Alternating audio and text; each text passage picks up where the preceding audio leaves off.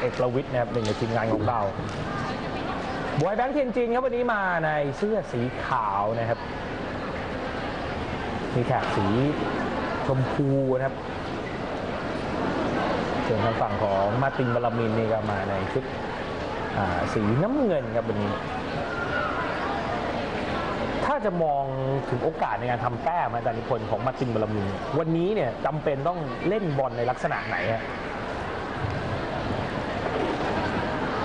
ต้องใช้หัวเสาครับหัวเสาโดยเฉพาะเบอร์ฮานี่นะครับเข้าตีในจังหวะที่เอ่อโยกหลังนะครับครับมีหลังเนี่ยพูดง่ายครับๆหัวเสาทางด้านขวานะครับ แล้วก็ใช้ลุกจากตำแหน่งที่หนึ่งครับแต่ถึงอย่างไรเนี่ยผมก็เชื่อว่าทาง Bohai Bank Tianjin เนี่ยก็ได้เตรียมการป้องกันไว้แล้วนะครับเพราะฉะนั้นครับอ่าการตี touch out เนี่ยจะมีประโยชน์มากสำหรับ Matin Varaminอืมคือก็ต้องต้องต้องทำแต้มจากการตีให้ได้นะว่าจะโอกาสตีผ่านค่อนข้างน้อยครับก็ตามนะจนก็ก็ต้องปรับกลยุทธ์ในการตีครับแล้วก็สำคัญก็คือนะการบล็อกครับ นะครับซึ่งรูปร่างนะเหมาะสำหรับเป็นอาวุธในการสกัดกั้น ครับ เอาครับ ลงสนามมาแล้วเป็นที่เรียบร้อยสำหรับผู้เล่นของทีมโบไฮแบงค์จริงๆครับนำโดยหมายเลข 4 ครับหวังเจียมินนะครับ หมายเลข 7 หยินนา หมายเลข8เจ้าเว่ยกิวหยู หมายเลข 12 ครับจางเซียวติง 14 นะครับทางด้านของเฉินลี่ยี่ แล้วก็ 18 ครับหลี่หยินทางด้านของผู้ฝึกสอนครับหวังเป่าควร ทางฝั่งของมาตินวาลามินนะครับ ก็นำมาโดยทางด้านของหมายเลขหนึ่งครับมาดิเยคาเจโคเร่ครับหมายเลขสี่ช้ำนำอาริคานี่ฮะกับตันทีหมายเลข 6 คาฟานูสเชกี้นะครับหมายเลข 7 เชกุเฟ่ซาฟารีหมายเลข 10 ครับ ตัวเก่งเมเดบอฮานี่แล้วก็หมายเลข 18 ครับ มาซาซาเบรี่ครับ ทางด้านของมาร์ตินบาลามินนี่ต้องบอกว่าใช้ผู้เล่น 6 คนนี้เนี่ยลงสนามเป็นชุดแรกครับ แล้วก็ในทุกๆนัดเลยนะไม่ค่อยได้เปลี่ยนครับ ครับ อาจจะมีเปลี่ยนบ้างในระหว่างกลางเกมแต่ว่าก็ไม่ถึงกับเปลี่ยนเยอะนะเปลี่ยนแค่ 1 หรือ 2 ตำแหน่งเท่านั้น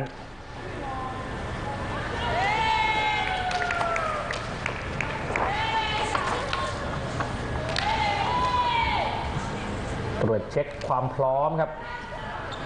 หมายเลขผู้เล่นและตำแหน่งการยืน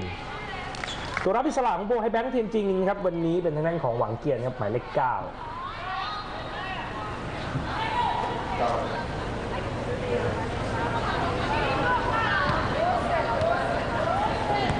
จากลักษณะการยืนนี่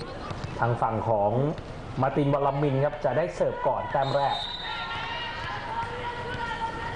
ชับนำอาริคานี่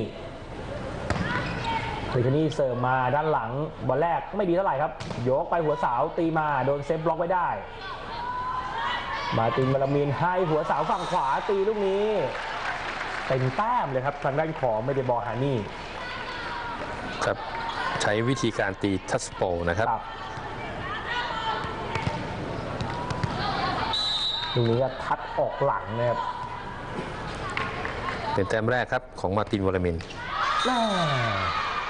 เริ่มเกมได้ดีแต่ว่าเสิร์ฟพลาดเร็วครับช้ำนำอาริคานีเสมอกันหนึ่งตอนหนึ่งครับขยับขึ้นมาด้านหน้าครับจางเซลติงครับ ลงมาเสิร์ฟครับหวังเจียมิน หัวเสาฝั่งซ้ายตีลูกนี้ ก็ยังเป็นบอล พัสนะครับแฉลบนิดนึงครับก่อนที่ตัวสุดท้ายนี่จะรับหลุดออกไปครับหวังเจียมิน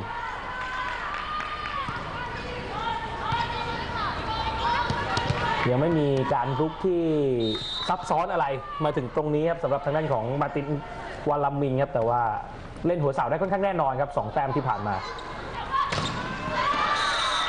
ส่วนทางฝั่งของโบไฮแบงก์ก็เอาคืนทันควันครับจังหวะนี้ปล่อยไหลหลังครับให้ลียินครับตีลงไป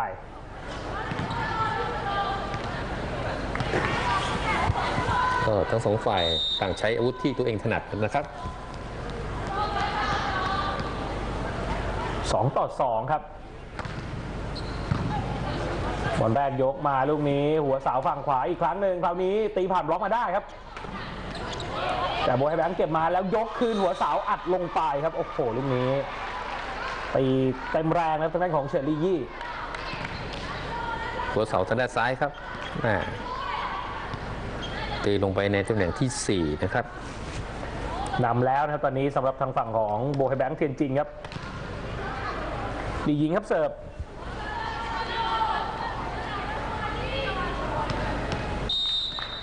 ช่วงแรกถือว่ายังใกล้เคียงกันอยู่ครับแต้มทั้งสองทีมบอลแรกเปิดมาลูกนี้ หัวเสาฝั่งขวาอีกครั้งหนึ่งคราวนี้ทัชเอาครับตีอัดบล็อกออกไปบอลฮันนี่อ่า พยายามบิดเข้าในแล้วนะครับ บล็อกของเชอร์รี่ยี่ครับแต่ว่าบอลก็ยังกระดอนออกข้าง เป็น 2 แต้มนะครับ จากการตีทัชบอลของโบคานี่แก้ไขผ่านมาครับ อีกครั้งหนึ่งคราวนี้วางเบาครับ ติดหวังเกียน แล้วสวนขึ้นหัวเสาแหมลูกนี้ไม่ไหวครับเชอรี่ยี่ครับตีอัดลงไป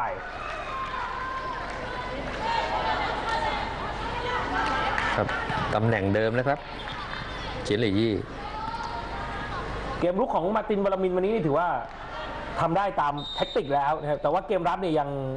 ไม่มีให้เห็นนะฮะนะโดยเฉพาะตำแหน่ง 4 ตำแหน่ง 5 นะครับ ของวาตินมารามินยังยังไม่ดีนะครับ อีกครั้งครับคราวนี้บอลลึกแหมพยายามจะผลักใส่บล็อกครับ แต่ว่าไม่โดนครับแล้วพึ่งสิงห์ก็ให้เป็นแต้มของโบไฮแบงค์นี่นี่คครัรับบ เป็นการแก้บอลของบูคานี่ครับไม่โดนใครครับแหม่ล้ำไปทั้งขานะครับสสองขาเซรียี่เสิร์ฟมาครับลูกนี้ ก็หน้าเดิมครับคราวนี้ โอ้ลูกนี้ตวัดออกไปเองครับทางด้านของบอฮันนี่ครับ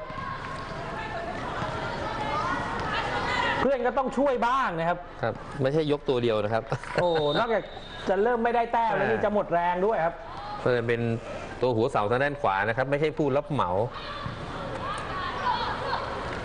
เปลี่ยนฝั่งบ้างครับคราวนี้ตีฉลับบล็อกแล้ว อ้าครัวบ พลาดไปเองครับหยินหน้าแหม่ออกอาการเสียง่ายครับหยินนาลูกเมื่อสักครู่นี่เล่นจังหวะไม่ดีครับเลยพลาดไป ลงมาเสิร์ฟครับบอลฮันนี่ฮะ โอ้บอลแรกหลุดออกไปครับหยินหน้าครับบอกนี่ครับเลือกโจมตีหยินหน้าครับ ตัวโค้งหัวเสาทางด้านซ้ายนะครับ ของ Bohai Bank Tianjinทัวร์นาเมนต์นี้ฟอร์มยังไม่โดดเด่นสักเท่าไหร่ครับสำหรับหยินหน้าบอลฮันนี่เสิร์ฟต่อครับโอ้แล้วจี้จุดเดิมครับ คราวนี้รับได้มา จังหวะสุดท้ายครับไหลมาทางจางเซียวติงโดนบล็อกครับแล้วก็บอลออกไป จังหวะสุดท้ายผู้ตัดสินให้เป็นแต้มของมาติงบาลามินครับนี่ครับโดนบล็อกแล้วบอลตกใส่ศีรษะของจางเซียวติงครับ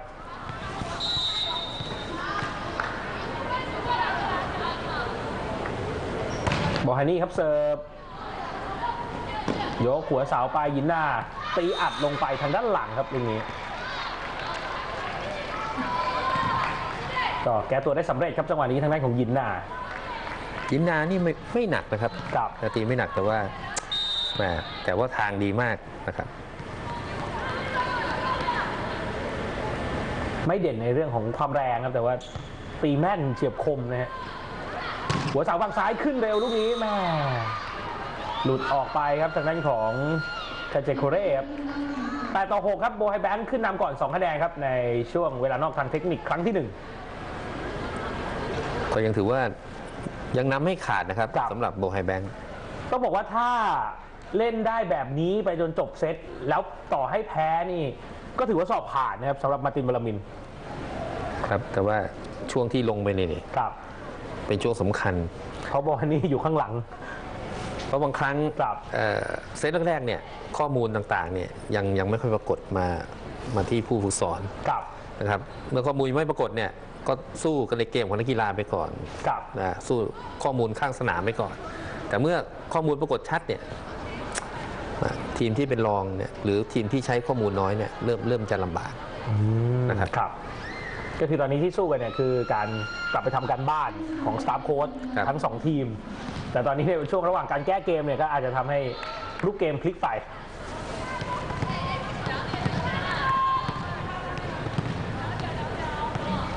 น่าสนใจครับช่วงนี้เนี่ยทางด้านของโบฮานี่จะลงด้านหลังเนี่ยต้องดูว่าอาวุธของมาร์ตินวาลามินเนี่ยจะใช้บอลลักษณะแบบไหน บอลแรกเปิดมาครับลูกนี้โอ้ยลอยสวยนะแต่ว่าตีแรงออกไปครับทางด้านของฟานุส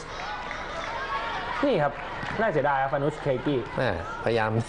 พยายามจะฟ้องกรรมการนะครับแม่จะเอาทัชบอลนะครับลูกนี้วิ่งไปสวยแล้วครับแต่ว่าตีออกไปเอง จางเซลติงเสิร์ฟบอลแรกเปิดมา ยกหัวเสาฝั่งซ้าย ตีอัดบล็อกเก็บได้ครับ แล้วให้ 3 เมตร ตีอัดลงไปทางด้านหลังครับเออถ้าสามเมตรนี่ ข้างๆ ไม่ช่วยกันรวบนี่ โอกาสติดลำบากนะครับกับบล็อกเดียวๆอย่างนี้นะครับเหลือเชกี้ตัวเดียวครับ เราเป็นคนที่ถือว่าตีได้ค่อนข้างดีนะครับในทัวร์นาเมนต์นี้สำหรับทางด้านของเชลลี่ยี่หมายเลข 14 ครับ เริ่มแล้วตอนนี้ เริ่มเก็บแต้มได้ต่อเนื่อง แล้วก็ขยับระยะห่างออกไปได้ครับ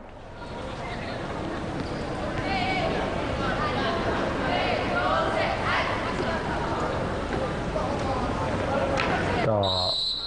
มวยลูกทีมแล้วเพราะว่าในช่วงแรกถือว่าลูกทีมทำได้ไม่ค่อยดีเท่าที่ควรนักครับ อันนี้เป็นเอกลักษณ์ นะครับช่วงนี้เริ่มเน้นแล้วครับโบไฮแบงค์กลับลงมาเล่นกันต่อครับ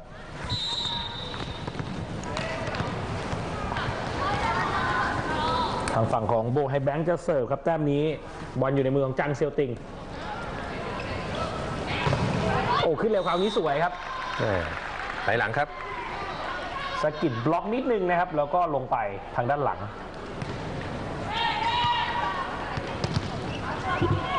หยินหน้าครับ เอาไม่อยู่กับจังหวะตีของฟานุสกับตันทีมวันแรกวันนี้ไม่ค่อยดีอะแม่พลาดอีกครั้งครับทางด้านของโบไฮแบงค์ยังไม่ได้มาตรฐานนะครับ ของให้โบไฮแบงค์นะครับแรก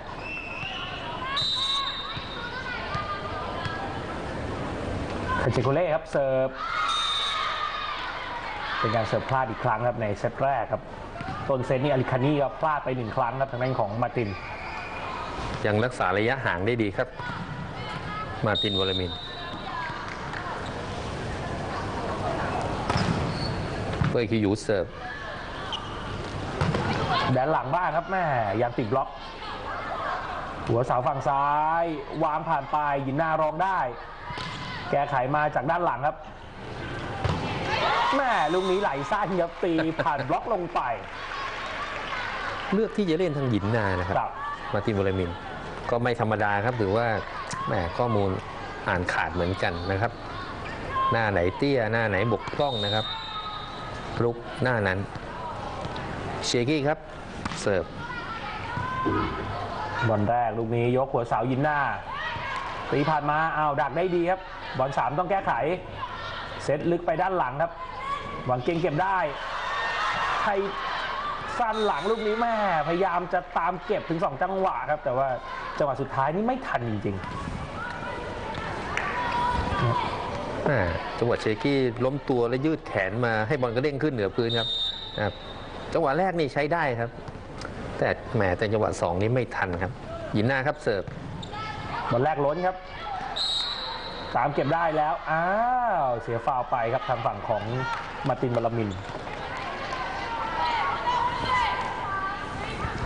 วันนี้ก็ต้องบอกว่ามาร์ตินนี่วัดอ่างัดลูกไหลหลังมาสู้สวยๆหลายครั้งนะครับครับ แต่ว่าต้องยอมรับโบไฮแบงค์นี่ต้นตำรับครับก็สวยงามอะแล้วโดนบล็อกครับจังหวะนี้หัวเสาฝั่งซ้ายมาซาชาเบรี่ครับตีไม่ผ่านแหม่ค่อนข้างเสียเปรียบนะครับ เอ็กตรงนั้นแล้วจ่าย ทับเอสตรงนั้นนะครับสี่มือเห็นเห็นครับ ยินนาเสิร์ฟครับ ลูกนี้อีกครั้งหนึ่งติดบล็อกครับ พยายามวางผ่านมาทางด้านของซาเบรี่บวยแบงค์ลองได้แล้วผลักคืนกลับมาเสียฟาวไปก่อนครับทางด้านของลีหยิน ครับเป็นการพาบอลนะครับ โอ้บอลไปนิ่งอยู่บนมือนานไปนิดนึงนะครับ เหมือนพักไว้หนึ่งจังหวะก่อนจะดันออกไปตอนนี้เสิร์ฟสวยครับ แต่ว่ารับได้ หัวเสาขึ้นอัดมาฉลับล็อกออกไปครับแหม่ยังเสมอต้นเสมอปลายนะครับ เซนเฮยี่นะครับ เป็นคนที่ตีดุดันแล้วก็หนักมากนะครับ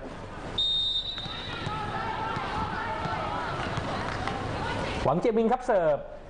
15 ต่อ 10 คนแรกลูกนี้ไม่ดีครับ แก้ไขมา ยังเก็บได้บอยแบงค์ขึ้นหัวเสาฝั่งขวาตีลูกนี้ลงไปครับ ทางด้านเส้นข้างครับอีกหยิน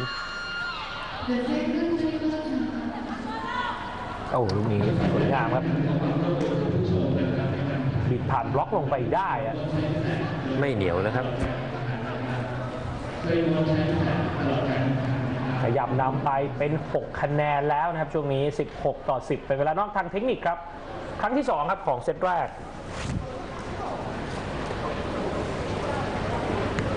แต่ก็ยังมีจุดบกพร่องที่ยังต้องแก้ไขครับทางด้านของโบไฮแบงค์ครับ ครับโดยเฉพาะบอลแรกนะครับ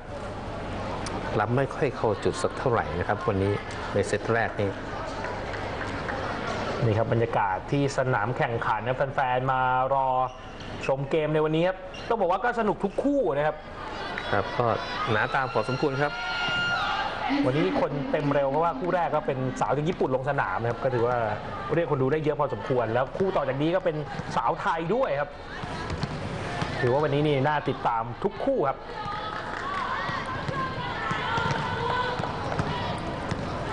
กลับลงเล่นกันต่อครับ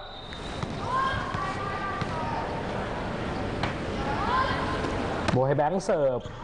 หวังเจยบินมาตินวารามินยกหัวเสามาทางฝั่งซ้าย ตีอัดลูกนี้ยังเซฟบล็อกได้ดีครับจังหวะตีของบอลนี่บล็อกคืนกลับไป ยกหัวเสาอีกครั้งหนึ่งคราวนี้อัดเต็มครับ โดนบล็อกลงไปในแดนตัวเองครับเซลลี่ยี่ครับแหม่อันนี้เป็นแต้มแรกนะครับ จากการสกัดกั้นนะครับ หมายเลขเจ็ดนะครับซ a ฟ a รีนะครับ ลูกนี้บล็อกยืนไม่ติดนะครับตัวซ้ายตัวขวานี่ยังห่างกันอยู่แต่ว่า ตีไปเจอพอดีครับ แล้วอืมเอาคืนเร็วครับ แต้มนี้ขึ้นบล็อกไม่ทันนะคครัรับบทางด้านมาร์ตินวอลมินสันหลังครับแล้วน่าจะฟาวล์จังหวะขึ้นบล็อกด้วยครับมือขวาตะข่ายถ้าขวาด้านล่างไม่เป็นไรครับ ถ้าด้านบนเนี่ยฟาวล์แน่นอนโอ้แล้วแม่จังหวะนี้ แหม่เหมือนจะไปตัดบอลเสิร์ฟครับลูกนี้บอลพุ่งแรง ไหลลื่นเลยครับระยะห่างเจ็ดแต้มโบไฮแบงค์ครับนำ18 ต่อ 11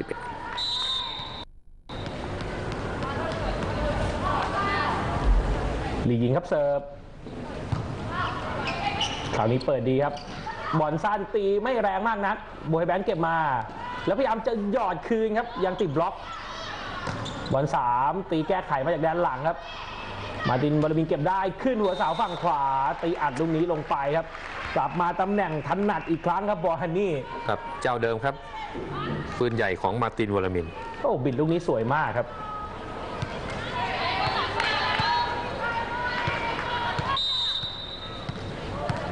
ตามห่างๆครับ 12 ต่อซาฟารีครับเสิร์ฟ ลูกนี้วิ่งปัดมาด้านหลัง ตีไปยังโดนเซฟบล็อกไม่ได้ แต่จังหวะแก้ไขบอลลึกครับ ต้องปัดผ่านไปก่อนคาเจโคเล่โอ้โหหัวเสาลูกนี้โถมอัดลงไปครับทางด้านของเชลลี่ยี่ครับ18ครับเป็นแต้มที่ 3 ของเธอครับ ในการตีลูกหัวเสาทางด้านซ้าย แล้วก็ตีตำแหน่งเดิมครับลูกนี้นี่บอลเกือบจะลงเส้น 3 เมตรพอดีเลยนะครับแหมภาษาชาวบ้านบอกว่า ลงเส้นลุกเส้นลุก ตีตีดีมากครับแดนหน้าอ่าจังหวะสวนขึ้นกลับมาครับ เป็นลูกทัชเอาท์ครับลูกนี้ รุนแรงครับแล้วก็โดนบล็อกหลุดออกข้างไป ครับเจ้าเดิมครับ โบฮานี่ 13 ต่อ 19ห ยินนาขึ้นมาในแดนหน้าครับ แก้ไขลูกนี้โอ้ยใจร้อนครับล้นมาอีกทีนึงผู้เล่นจีนยังแก้ไขได้ดีครับ ยกมาตีไม่ถนัดครับหยินนาขึ้นหัวเสาฝั่งซ้าย ตีผ่านมาแล้วแม่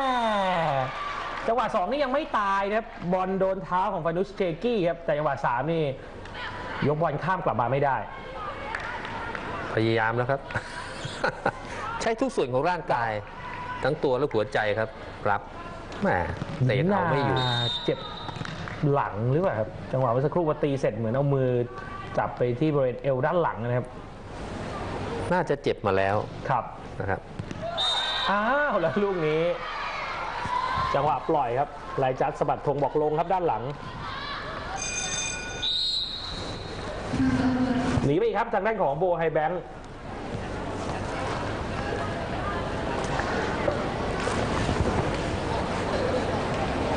ต้องบอกว่าถ้าตัดช่วง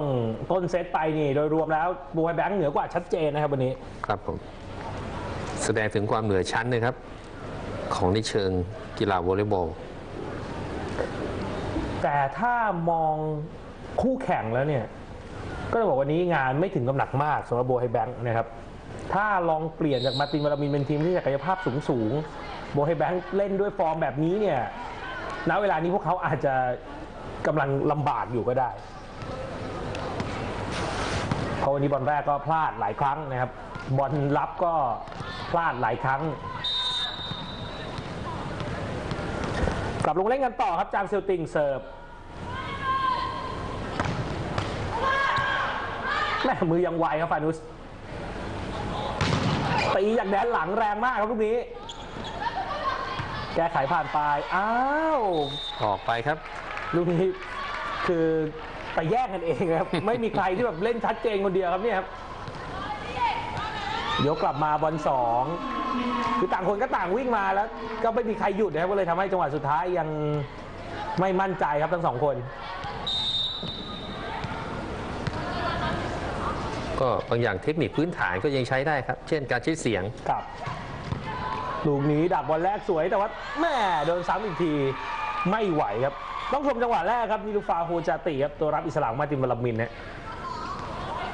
รับบอลแรกได้ดีแต่ว่าล้นข้ามไป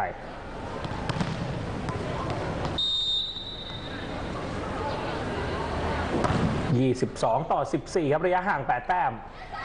หัวเสาฝั่งซ้ายตีไปโดนเซฟบล็อกได้แล้วตามมาเก็บเองครับแม่จังหวะสุดท้ายครับทางด้านของเว่ยกิ้วอยู่นี่ยกไปให้หยินนาแล้ว ตีพลาดเองนะฮะ พยายามที่จะบิดฉีกครับ ฉีกสุดๆนะครับ แต่ว่ายังไม่ผ่านมาตินบอลามิน ตามมาเป็น 15 ต่อ 22 ครับ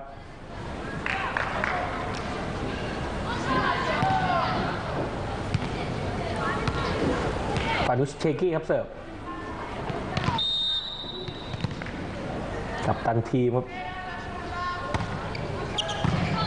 เสิร์ฟยัดไปด้านหลังลูกนี้ ให้สั้นเร็วยังเก็บได้ หัวสายฝั่งซ้ายวางไปหยินนาล้มตัวรับแล้วเพื่อนเก็บไม่ทันครับอ่าอาการบาดเจ็บครับเป็นอุปสรรคครับในการรับลูกของหยินนาสักครู่นี้เนี่ยจังหวะพุ่งเนี่ยเหมือนไม่เป็นธรรมชาติครับแล้วลูกไม้ก็ยังเอามือกุมไปที่ด้านหลังเหมือนเดิมนะฮะห ยินนาขึ้นครับลูกนี้วางเบาๆครับเปลี่ยนบ้างครับเล่นหนักแล้วก็ไม่ได้แต้มครับรวมถึงยังพลาดเองด้วย แหมเพื่อนก็จ่ายแล้วเกินครับ ต้องปั้นนะวันนี้ เอ๊ะตกลงเจ็บไหมครับเนี่ย อาจจะไม่ได้คุยกับโค้ชนะก่อนลงสนาม เจ็บหรือคันหลังนะเพราะว่า เพราะว่าท่าแปลกๆก็วันนี้หลายจังหวะแล้วอ่าสำหรับหยินนาวันแรกสวยครับลูกนี้แหม่พยายามจะเข้ามาด้านหน้าครับบอลสั้นหรือว่าผลักไปติดบล็อกมาซาชาเบลลี่ ครับหน้าสองนะครับมี B หน้าครับแล้วก็ไหลหลังยาวๆนะครับเลือกจ่าย B หน้าครับ ติดบล็อก set point ครับโบไฮแบงค์นำอยู่ 24 ต่อ 16 ตอนแรกเปิดสวยลูกนี้ให้ซ่านครับแหม่ปัดเร็วลงไปครับทางด้านของซาฟารีอันนี้ต้องชื่นชมซัฟฟารีนะครับครับนะตีผ่านไปได้เนี่ยแหมเกือบเกือบหกมือนะครับเนี่ยลูกนี้เล่นยากด้วยนะครับ เลือกเล่นทางตัวริมนะครับ ใช้ได้ครับเหตุผลโอ้ยวันนี้เสิร์ฟใส่ยินได้นะครับหัวเสาฝั่งขวาตีอัดมายังดักได้บอลแรก แก้ไขครับจังหวะ 3 ยกข้ามไปก่อนซาฟารีบอลสั้นครับ โอ้โหจบลูกข่าวเลยครับถวายใส่มือเลยครับ ขึ้นไปรอครับ แล้วก็ดีดบอลใส่มือให้ทุบลงไป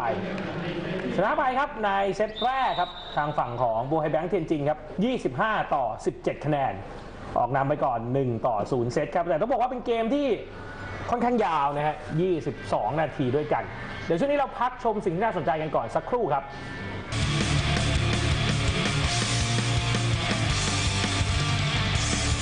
ในเซตที่ 2 ครับสำหรับศึกวอลเลย์บอลสโมสรหญิงชิงชนะเลิศแห่งเอเชียครับ ในรอบก่อนรองชนะเลิศหรือว่ารอบ 8 ทีมสุดท้ายคู่ที่ 2 โบไฮแบงค์เทียนจินจากประเทศจีนพบมาตินบาลามินจากอิหร่านครับเซตแรกนี่ทางด้านของโบไฮแบงค์ชนะไปตามความคาดหมายนะครับ แต่ว่าแต้มที่ออกมาของอิหร่านก็ถือว่า ดีในระดับหนึ่งทีเดียวครับวันนี้ 25 ต่อ 17 คะแนนครับในเซตที่ 1 กลับลงมาเล่นกันต่อในเซตที่ 2 ตอนนี้แต้มเสมอกัน 1 ต่อ 1 คะแนน ครับลูกสักครู่นี้แม่มาตินบุรินปล่อยบอลสั้นที่สวยงามครับ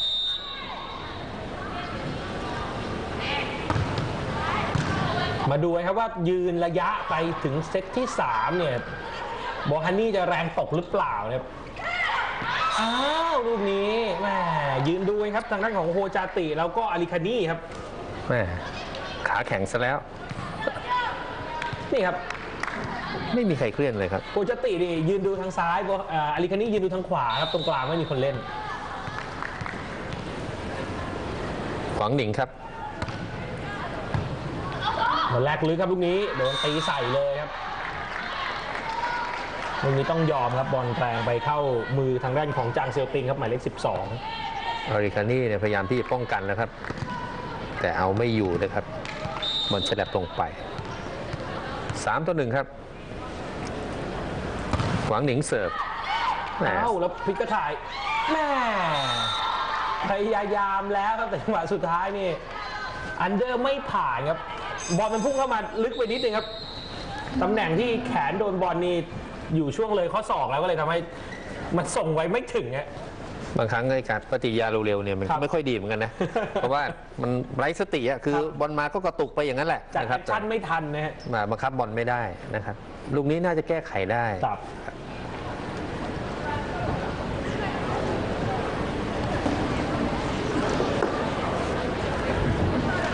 ซตที่ 2 นี่ออกสตาร์ทมาเป็นทางฝั่งของโบไฮแบงค์นะครับ เก็บแต้มขึ้นนำไปก่อนเร็วทีเดียวครับในช่วงต้นเซต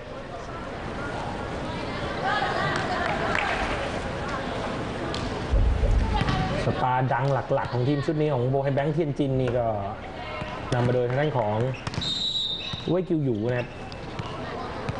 เหรียญทองเอเชียนเกม 2010 นะครับแชมป์เอเชีย 2011 แหม่ลูกนี้พยายามจะปัดจังหวะ2ครับโบไฮแบงค์ดักได้แล้วขึ้นอาถัวเสามาติดยินหน้าเหวี่ยงมาทางฝั่งซ้าย ตีประคอง เหนียวแน่นครับบอล3แก้ไขกลับไปแม่ทับครับลูกนี้ ไหลยาวๆครับหลี่หยิน หวังหนิงเนี่ยไหลสั้นครับ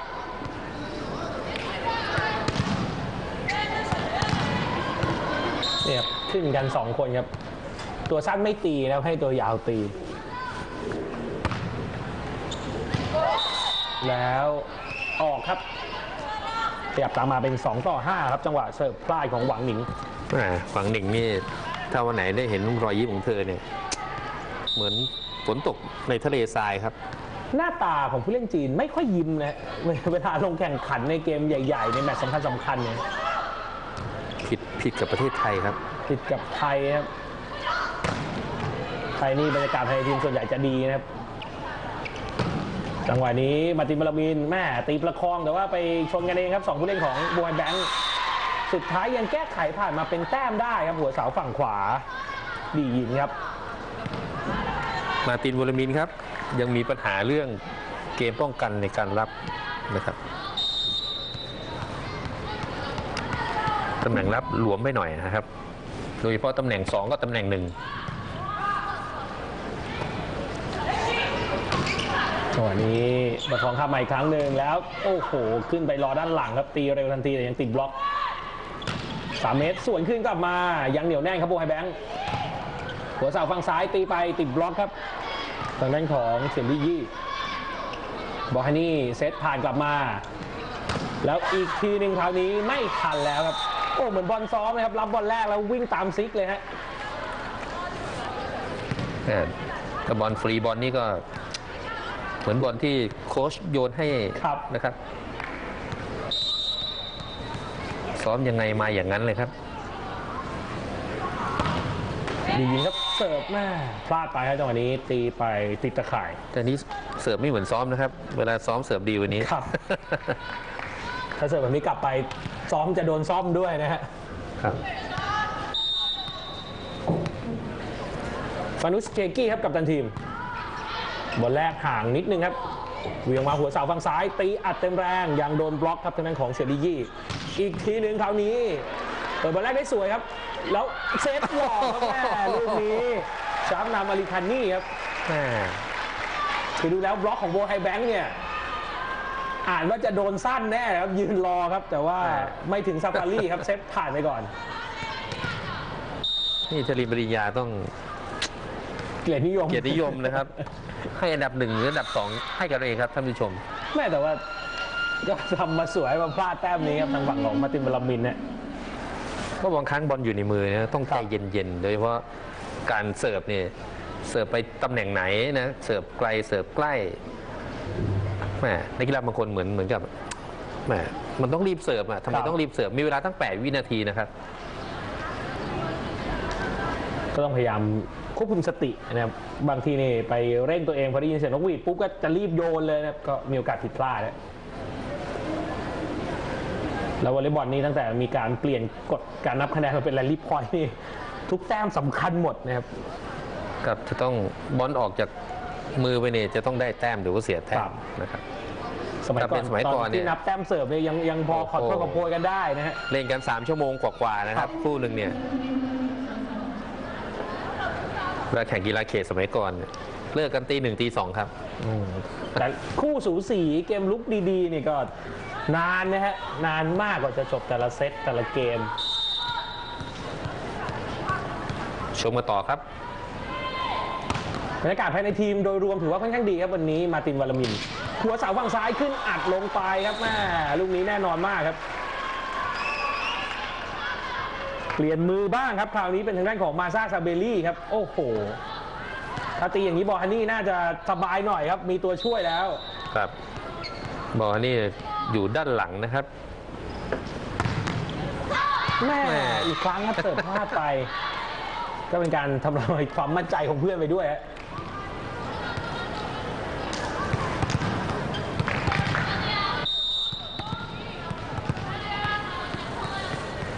เก้าต่อห้าครับบอยแบงค์เสิร์ฟจางเซลติงบอลแรกไม่ดีครับ แก้ไขผ่านมา เป็นฟรีบอลครับ โอ้ขยับมาตีด้านในครับลูกนี้หยินนา ไม่แรงนะครับแต่ว่าเป็นแต้มครับอันนี้หน้าสองนะครับหยินนาเนี่ยเข้าไปตีบีหน้านะครับ จาก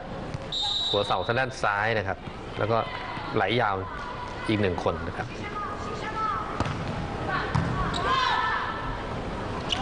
หัวเสาฝั่งซ้ายลูกนี้ตีอัดติดแล้วแม่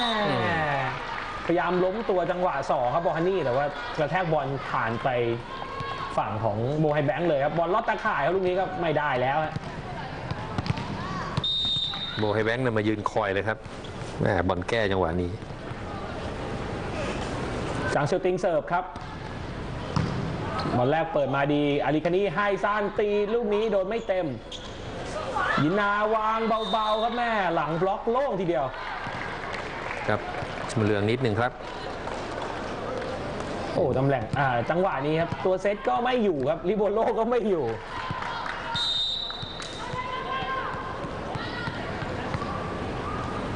จางเซลติงครับเสิร์ฟ เสิร์ฟดีมากครับจางเซลติง หัวเสาฝั่งซ้ายบอลนี่ตีโดนบล็อกลงไปอีกครับสองแต้มแล้วครับโบฮานี่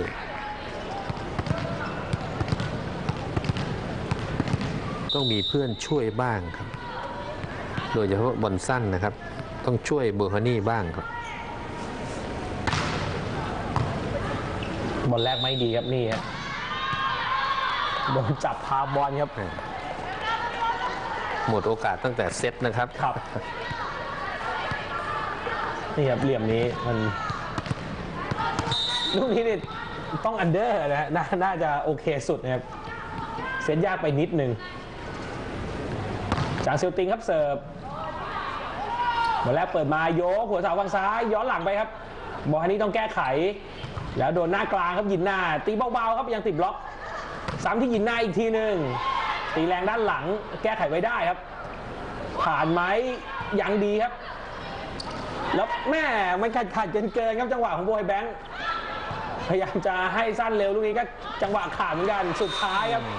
ไม่ต้องคุยแล้วครับ เฉินหลี่ยี่อัดลงไปจาก 3 เมตรร้อยไปจากแดนหลังนะครับ มาตีประมาณเมตรห้าสิบนะครับ โอ้สุดยอดครับแต้มนี้ อยู่หลังก็เหมือนหน้าอยู่หน้าครัก็บเหมือนหลังครับ โดดสูงครับแล้วไม่มีบล็อกนี่ต้องบอกว่า ระดับนี้นี่ตีสบายครับบอล3เมตรไม่มีบล็อกบอลแรกดีครับอาริคานีโยกหัวเสาตีอัด ตอนนี้เริ่มลำบากครับจังหวะให้หัวเสานี่บอลค่อนข้างติดตะข่ายไปนิดนึงฮะครับจังหวะหวังหนิงเนี่ยบล็อกสั้นแล้วนะครับครับนะสั้นไม่จ่ายเนี่ยขยบนะไปบล็อกโค้งบัวคานี่ไว้ได้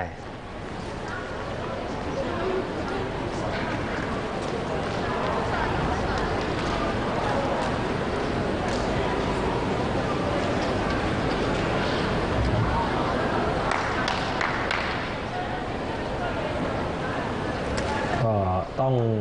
แก้เกมกันใหม่ครับตอนนี้เกมรุกผิดพลาดเองเยอะครับสำหรับทางฝั่งของมาร์ตินบาลามินนี่ครับโอ้โหก็กระตุ้นตัวเองนะครับทางด้านของเจลลี่ยี่ครับขยับแข้งขยับขาให้ตื่นตัวตลอดเวลานะฮะครับ ผมสงสัยว่าโค้ชหายไปไหน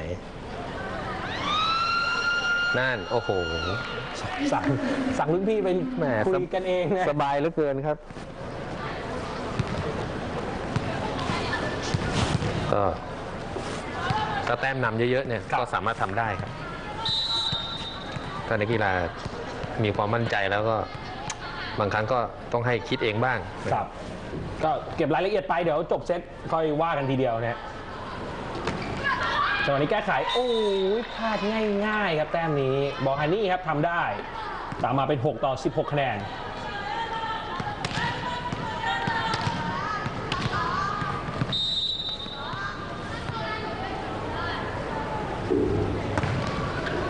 ฟครับทางฝั่งของมาร์ตินบาลามิน หัวเสาฝั่งซ้ายหยินหน้าขึ้นตีเร็ว ดักได้ดีครับ อืมจังหวะเอาคืนครับลูกนี้ ตีพลาดเองครับทางด้านของคาเจโคเล่พยายามจะแปะหยอดนะครับ แต่ไม่ข้าม นี่ครับหวังหนิงมีไป 11 แต้มครับ เซตที่ 2 17 ต่อ 6 คะแนนเพื่อพี่ยูเสิร์ฟบอลแรกล้นครับเนี่ยแหละอ่า ตั้งหลักรอเลยครับลูกนี้โดนตบใส่แน่นอนครับเพราะว่ารูปร่างผู้เล่นโบไฮแบงค์นี่สูงอยู่แล้วครับหวังหนิงครับ เก็บตกลูกนี้ตีอัดลงไป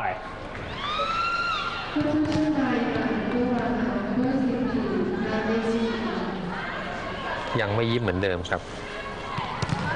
ค่อนข้างเครียดทั้งบรรยากาศนะครับจริงจังครับกับการแข่งขันดากัสนี่ลงมาแล้วครับ โอ้บอลแรกกระแทกไม่ดีแล้วครับ แล้วตีประคองหลุดออกไปเองครับ ทางฝั่งของบอฮานี่ 19 ต่อ 6 ครับเมื่อกี้อยู่เสิร์ฟ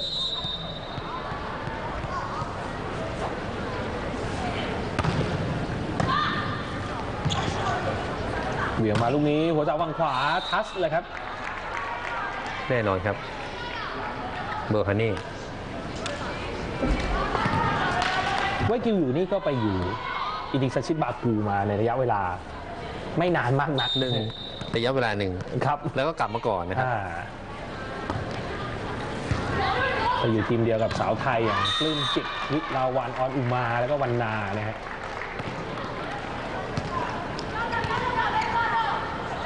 โอ้ตรงนี้ตีใส่มือครับลงไปทางด้านของหวังหนิง ก็เริ่มมีรอยยิ้มบ้างครับครับจังหวะทำแต้มได้ 20 ต่อ 7 แล้วครับ โอ้โห เซตนี้นี่คะแนนค่อนข้างขาดเลยทีเดียวครับ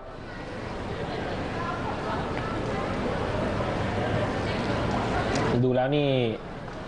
ไม่น่าจะถึง 17 นะฮะเซตนี้มาถึงตรงนี้ลุ้นว่าถึง 10 หรือเปล่าครับ เพราะกระแสของเกมตอนนี้นี่มันไหลไปทางบูไฮแบงค์จริงๆเกือบหมดแล้วนะฮะเซตที่ 2 พูดง่ายๆว่ามาร์ตินวอลมินครับ ท้ายลอยแล้วครับครับ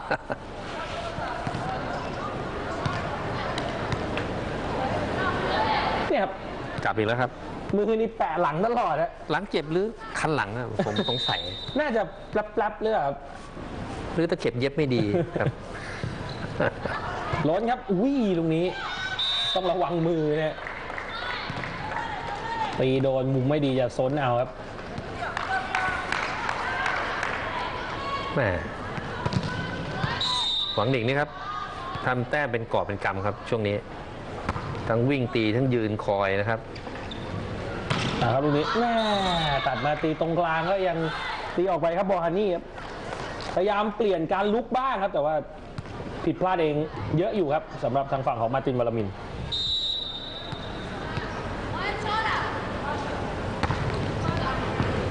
โอ้โหลูกนี้บอล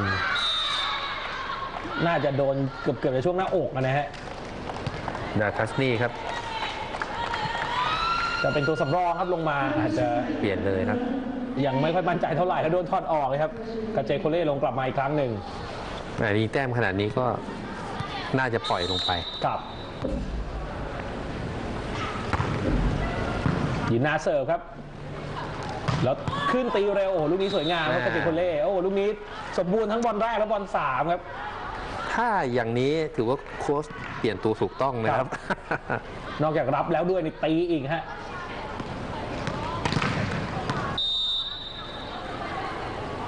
บอลฮันนี่ครับเสิร์ฟ โอ้บอลแรกไม่ดีครับ รับหลุดออกไป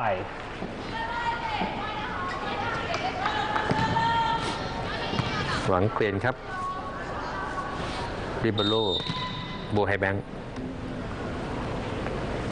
บอลฮันนี่เสิร์ฟอีกครั้งครับ โอ้เสิร์ฟดีด้วยครับลูกนี้ แต่ยังแก้ไขมาได้โบไฮแบงค์แดนหลังอัดโอ้โหออกไปไกลทีเดียวครับลูกนี้ถ้าโดนบล็อกก็มีโอกาสได้แต้มนะครับ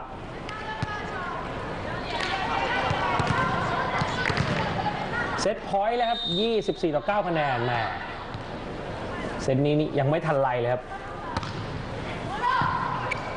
ไม่น่าจะถึง 20 นาทีครับ รวมแล้ว จะยัดหน้ากลางครับล็อกตัวเดียวไม่เหลือครับ จังหวะสุดท้ายเฉลี่ยี่ครับตีอัดลงไป ก็เป็นอันว่าในเซตที่ 2 ครับ ทางฝั่งของโบยแบงค์จริงๆครับ เอาชนะมาตินวาลามินไปได้อีกครับ ด้วยคะแนนที่ห่างกว่าเซตแรกพอสมควรครับในเซตนี้ ขยับขึ้นนำ2ต่อ 0 เซตครับ ทางด้านของโบยแบงค์จริงๆครับนี่ครับ25 ต่อ 17 แล้วก็ 25 ต่อ 19 ใช้เวลาทำการขันไปแค่ 17 นาทีเท่านั้นนะฮะในเซตที่ 2 เดี๋ยวช่วงนี้เราพักกันก่อนสักครู่ครับ แล้วกลับมาลุ้นกันต่อในเกมเซตที่ 3 ครับ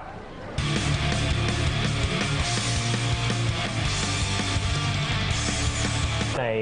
รอบก่อนรองชนะเลิศนะครับศึกวอลเลย์บอลสโมสรหญิงชิงชนะเลิศแห่งเอเชียครับสองเซตที่ผ่านไปเนี่ยโบไฮแบงค์จริงชนะตามคาดนะครับสองต่อศูนย์เซตเลยครับ แต่ว่าแต้มที่ออกมานี่ค่อนข้างต่างกันพอสมควรครับ 25 ต่อ 17 แล้วก็ 25 ต่อ 9 เซตที่3อาจารย์นิพนธ์ดูแล้ว แนวโน้มของเกมครับน่าจะจบลักษณะไหนครับเหมือนเซตแรกหรือเหมือนเซตที่สองน่าจะพลิกขึ้นมาอีกหน่อยครับนะครับสำหรับมาร์ตินวอลมินนะครับ อาจจะไม่ถึง 17 แต่ว่าอาจจะดีกว่าเซตที่สองน่าจะดีกว่าเซตที่สองต้องบอกมาตรฐานนี่ต่างกันเยอะนะครับเซตแรกกับเซตที่ครับสองนี่บอลนี่โอ้ลูกนี้ตีลำบากครับออกครับ2ต่อ0ครับก็ยกมือขอโทษขอโพยเพื่อนฮะ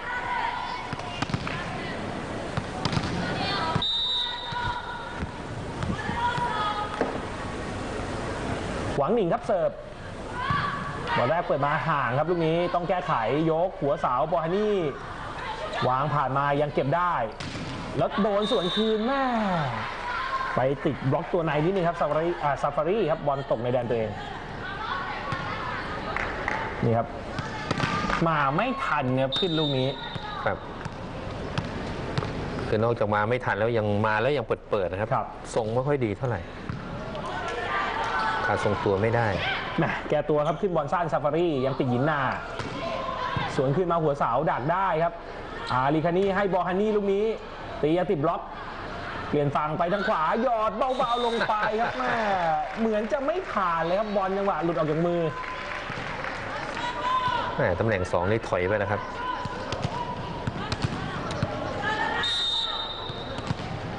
ลูกนี้วางดีทีเดียวครับ ซาเบรี่ครับเสิร์ฟยินนาเปิดบอลแรกดีครับลูกนี้ แล้วขึ้นตีมาฝั่งขวายังดักได้ โอ้พยายามจะวางลักษณะเดิมครับคราวนี้แรงไป เหนียวแน่นครับแต้มนี้ บอลฮันนี่ต้องแก้ไขบอลลึกแม่นี่ครับ ปัดไปโดนบล็อกครับ มันไม่มีมุมแล้วลูกนี้จังหวะแก้ไขไม่ค่อยดีครับเบอร์ฮานี่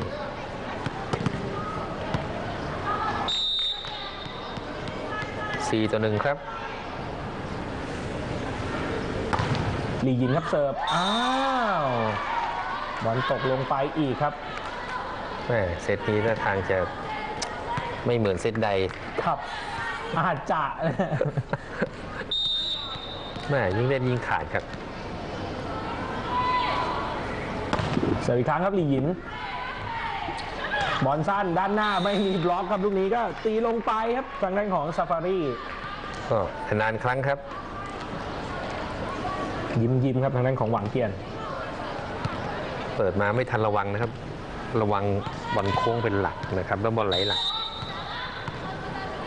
ลงมาเสิร์ฟครับทางฝั่งของซาฟารียินหน้ากระแทกมาลูกนี้หัวเสาฝั่งซ้าย ตีอัดแม่ ดักทางเนี่ยเกือบดีแล้วนะครับ แต่ว่าเปิดไม่ขึ้นครับ จังหวะตีของผู้เล่นโบว์ไฮแบงค์ครับหมายเลข 14 ครับเชลลี่ยี่อะอ่ามาตินวลามินครับ รับ 3 คนเลยครับ บอลโค้งเนี่ยแต่ยังเอาไม่อยู่นะครับ เปิดโล่งเลยครับตำแหน่งที่หนึ่งหัวเสาฝั่งขวาขึ้นอัดฉลับบล็อกออกไปครับ ไล่ตามมาเป็น 3 ต่อ 6 ครับ เดียวๆนะครับ อยู่ยากนะครับ แลกหมัดกันครับตอนนี้ทั้งสองทีมเชลลี่ยี่ของโบไฮแบงค์นี่ก็เป็นผู้เล่นทีมชาติจีนอีกหนึ่งคนนะครับเคยเป็นแชมป์เอเชียนคัพในปี 2010 นะฮะแชมป์เอเชียปี 2011 แล้วก็แชมป์เอเชียนเกมปี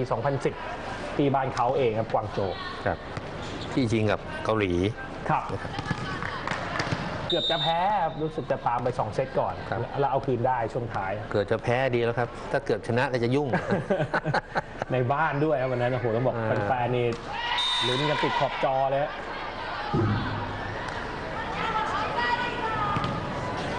เอาครับก็เซตนี้ต้องอาศัยความแน่นอนแล้วก็อาศัยความผิดพลาดของโบไฮแบงค์บ้างครับมาร์ตินวาลามินครับจะสู้ได้สนุกขึ้นฮะ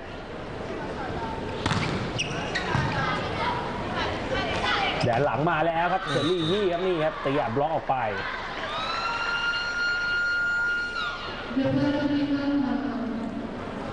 184เซนติเมตรนะฮะรูปร่างสูงใหญ่ครับเชอรี่ยี่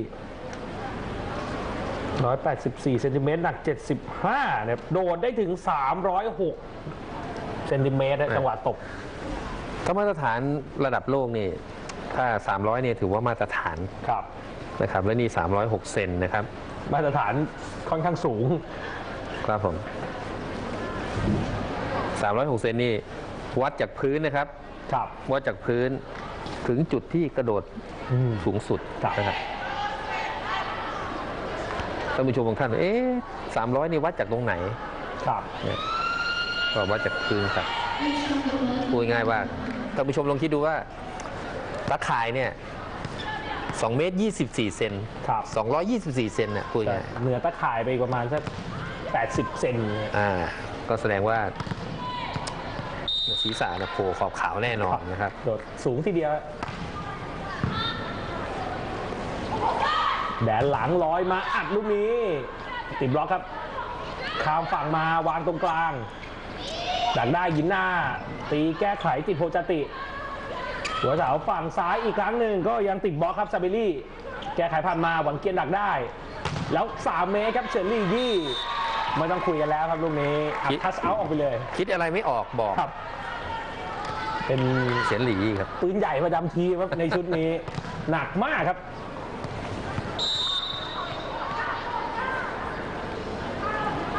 เวคิวครับ โยกหัวเสาลูกนี้แม่ทำได้สวยนะครับแต่ว่ายังตีไปติดบังเกียนยินนาอัดมาทันไหมยังได้ครับบอลสามโยกลูกนี้แล้ว ยอมเขาไปครับ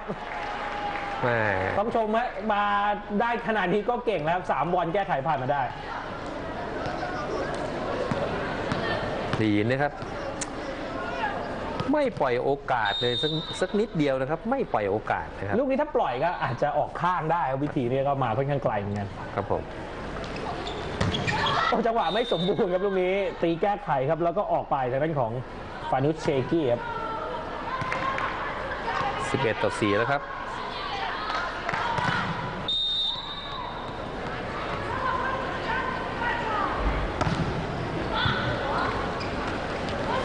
นหลังลอยมาลูกนี้สวยทีเดียวครับแม่แต่ว่าไม่โดนใครเลยครับบอฮานี่ ลูกเลยออกไป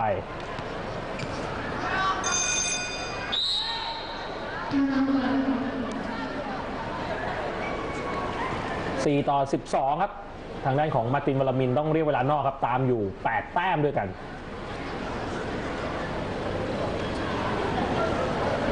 ก็ต้องพยายาม ประตูลูกทีมครับทางด้านของผู้ฝึกสอนครับให้ลงไปเล่นให้ อย่างน้อยที่สุดให้สนุกกับเกมที่เหลือนะครับก็น่าจะทำผลงานได้ดีด้วยครับ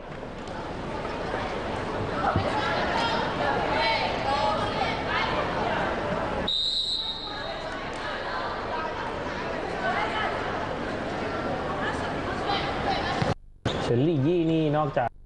เป็นแชมป์เอเชียนเกมแชมป์เอเชียแล้วนี่ก็อยู่ในชุดที่ได้อันดับ 3 ศึก World Cup ปี 2011 ด้วยนะครับที่ประเทศญี่ปุ่นแบบรายการนั้นนี่เป็นรองแค่อิตาลีแล้วก็อเมริกาครับแต่บอกว่าไม่ธรรมดาครับฝีมือลูกนี้จังหวะปักบอลไปด้านหลังครับเป็นแต้มมาตินบาลมิน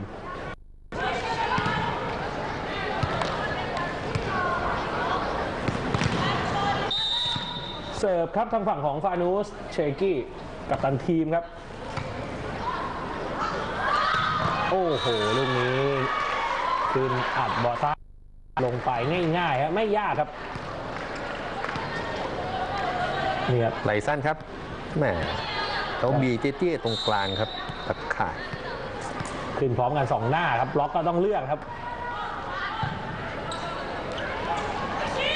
เหลือเสาฝั่งซ้ายตีอัดลูกนี้หยินนายังรับได้สวยครับเซตแก้ไขไปตรงกลางลูกนี้แม่ตีไม่พ้นครับเสือลิยี่ ตีไปติดบล็อกเต็มติดเบอร์เจ็ดครับเซอร์ฟอรี่ครับๆพยายามจะสัมบัติให้ผ่านซาฟารีครับ นานๆครั้งครับ ก็ยังดีครับ แก้ไขครับลูกนี้บอลย้อนไปนิดนึง เอาครับผลักกลับไปก่อน สุดท้ายไม่พลาดครับ โอ้โหลูกนี้ขึ้นหนักเลยครับ นี่ครับทางด้านของไหลผู้หญิยางวคครัรับ บ อืมเกือบจะสุดแล้วนะนิดเดียวจะโดนเสาอากาศอยู่แล้วครับลูกนี้ ผ่านไหลซ้ายแซบเบอรี่พอดีนะครับ จังหวะจากโคนดีมากครับบอลแรกเปิดมาลูกนี้พับครับ เป็นแต้มเหมือนกัน ที่ผ่านมาเราไม่ค่อยเห็นบอลลุกแบบผสมนะครัครับบของมาร์ตินวอลามินนะครับ อาศัยบอลโค้งนะจากเบอร์ฮานี่ครับ กับเพื่อนๆมากกว่าเมื่อสักครู่ทับได้สวยครับตัวหลอกนี่ก็ดึงบล็อกไป 2 ตัวแล้วนะครับตัวตามมาทับนี่ก็เจอบล็อกไม่สมบูรณ์เท่าไหร่ครับโคจติครับคว้าบอลแรกมาได้ยกหัวเสาพยายามจะผลักให้ข้ามบล็อกครับคาเจโคเล่ไม่ได้เปลี่ยนฝั่งมาทางขวาผลักใส่บล็อกอีกทียินนาเก็บได้ครับ สุดท้ายเป็นเชลลี่ยี่ตีผ่านแล้วล้นตีไม่โดนครับบอลมันไปสะดุดตะข่ายครับ มันไปตกใส่ขอบตะข่ายแล้วก็พลิกกลับลงมาที่จริงน่าจะเป็นโอกาสดีนะครับลูกนี้ลดความแรงลงไปได้นะครับครับเกินจังหวะตกใจนะครับนี่ฮะนะครับตกใจแล้วก็ครับไปชะงงักนะครับจังหวะที่ทางด้านของจางซือปิงนี่ง้างมือจะตบเลยฮะตัวเสาฝั่งขวาขึ้นอัดลูกนี้โอ้โหพอดีเส้นเลยครับบอลฮานี่อีกครั้งหนึ่งยังมาอยู่นะครับยังอยู่นะครับ เบอร์คานี่แม่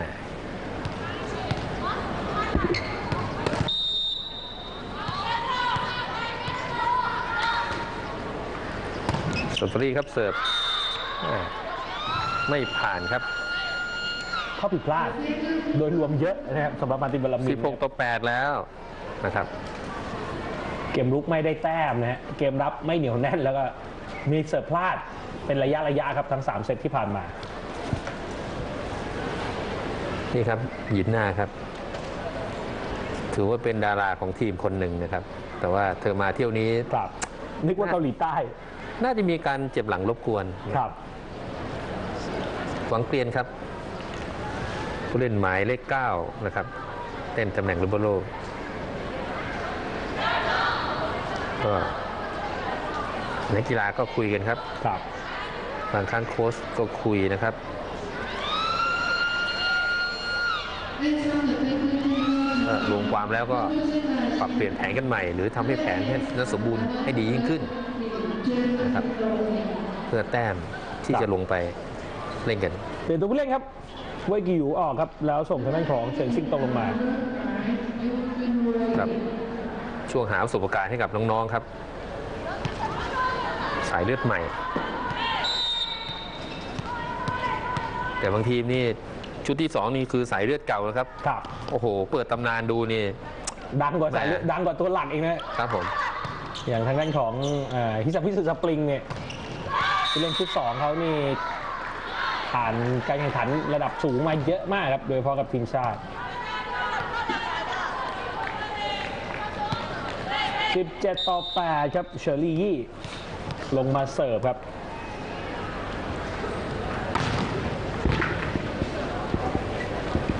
หัวเสาวฝั่งซ้ายขึ้นเร็วลูกนี้ยังคว้ากลับมาได้ครับหยินนาต้องแก้ไขครับ บอลแรกล้นหยินนาอีกครั้งหรือเปล่า นี่ครับตีลงไปตรงที่ว่างครับ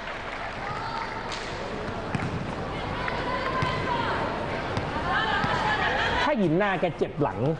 จริง ๆ อย่างที่แกเอามือจับบ่อยๆ จังหวะย้อนหลังแบบเมื่อสักครู่นี่ก็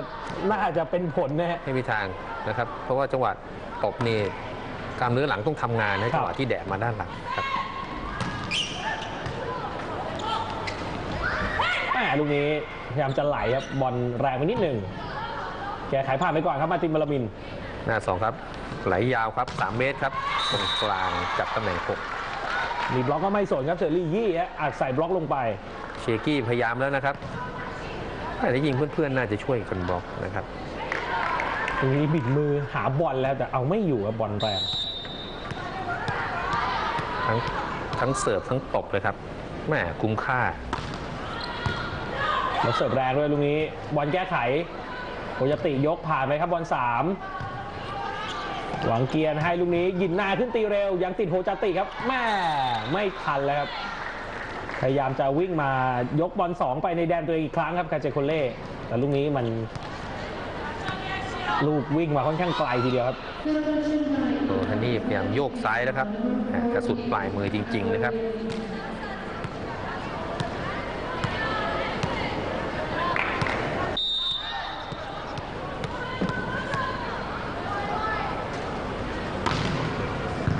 เอาครับ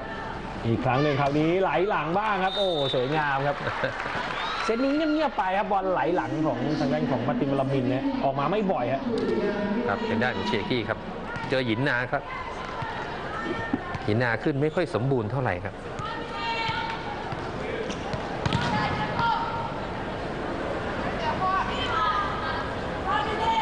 ยางยินลิงครับหมายเลขสองก็ลงมาเพิ่มครับในช่วงท้ายบอลแรกไม่ดีครับ 3 เมตร ตีประคองขอครับเบาๆลงไปครับเชอรี่ยี่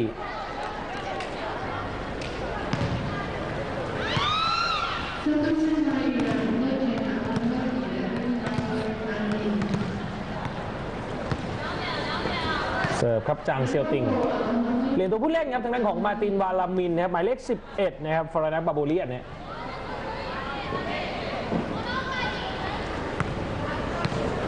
21 ต่อ 9 ครับ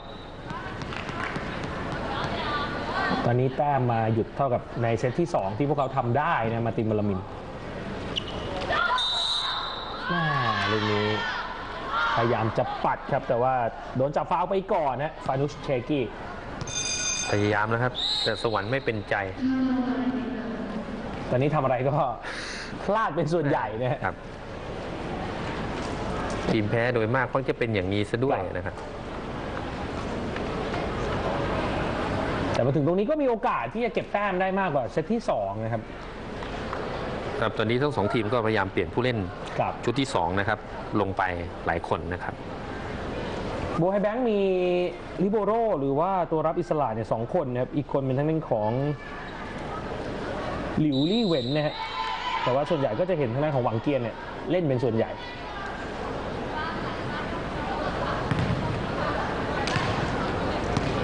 ลงเล่นกันต่อครับ จางซูติงเซิร์ฟ อีกไม่กี่แต้มเท่านั้นนะครับ ก็จะเอาชนะไปได้ครับในเซตที่ 3 แล้วก็ปิดแมตช์ครับกำลังจะตามทีมเต็งอย่างฮิซามิสึสปริงเนี่ยเข้าสู่รอบรองชนะเลิศครับ เอาลูกนี้เกือบแย่งนะครับ แล้วสุดท้ายตีพลาดไปครับจังหวะนี้อย่างหลินหลินดูจากวิถีบอล อาจจะไม่ถึงกับถูกบล็อกด้วยครับ จะติดตะข่ายซะเองฮะเหมือนกับขึ้นไม่ไม่สุดนะครับกับ เดี๋ยวดูอีกครั้งครับลูกนี้อ้าวอีกแล้วครับ จุดเกรงใจครับตรงกลาง ก็เป็นข้อดีนะครับสำหรับนักกีฬาที่ดูนะครับ ถ้าลูกไหนสวยก็ตีไปนะครับกับ นะครับ แต่ถ้าไม่สวยต้องแก้ไขแต่บางคนไม่สวยยังยังตีอีกครับ บางครั้งก็ลำบากเหมือนกัน หัวเสาฝั่งซ้ายตีติดบล็อกเปลี่ยนฝั่งไปขวาบ้างวางลึกด้านหลังครับ ยังรับมาได้ครับบังเจมินสวนขึ้นมาเซฟบล็อกลูกนี้โฮจาติโยกกลับไปหัวเสา โอ้แก้ไขลูกนี้ดีครับ วางหนีบล็อกมาครับ แล้วบอลไปตกใส่แขนเฉินซิงตรงครับ ครับเฉอซิงตรงนี่ไม่พร้อมนะลักษณะท่าทางครับยังไม่พร้อมที่จะรับนะครับ หน้ายังชนไม่สมบูรณ์นะครับอ้าอ้าววแล้วบอลดีดลงไปครับลูกนี้พลิกหลบครับในนั้นของยูจุนเว่ยฮะนี่ครับเหตุผลว่าทำไมโค้ชต้องเปลี่ยนผู้เล่นใหม่ๆลงมา ครับนะเพราะบางจังหวะเนี่ยมันช่วยเสริมประสบการณ์ได้ นะครับบางจังหวะต้องตัดสินใจบางจังหวะกล้าๆก็กลัวก็ลำบากนะครับ บอลแรกห่างครับ โยกหัวเสา ตีอัดลูกนี้ลงไปครับทำได้ดีครับหวังหลินหลิน การลิลินนี่กว่าจะได้แต้มนี้นะครับครับ แหมต้องเสียไป 2 แต้มด้วยกันนะครับแต่อย่างหลินหลินก็เป็นคนที่โดดได้สูงคนหนึ่งนะครับ 302เซนติเมตรในจังหวะเทคตัวตบนะฮะและที่สำคัญเขามีส่วนสูงสูงที่สุดของทีม ที่เดินทางมาในครั้งนี้ครับสูง 191เซนติเมตรครับเราดูเหมือนเตี้ยๆนะครับกับ เนื่องจากก็สูงกันหมดครับ คือทีมนี้เฉลี่ยก็ 184นะฮะสำหรับครับโบไฮแบงค์ครับก็สี่ห้าเซนนี่ดูไม่ค่อยหนีกันเท่าไหร่